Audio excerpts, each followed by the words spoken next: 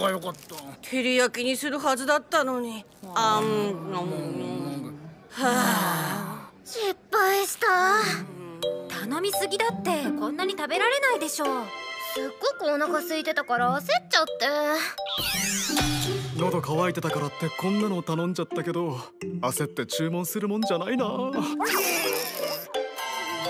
かみんな焦りすぎ。あこれってもしかして妖怪の仕業だいやいや誰だって焦って失敗することくらいありますよ人間だもの。何でもかんでも妖怪のせいにしないでください。ほらウォッチの電池無駄だから切って切って。い。たあれは確か。言わさねえよ。あれはですねえっと妖怪紫ダンサー。じゃなくてミルマラカメス。ああでもなくて。あいました。あれは妖怪テンパル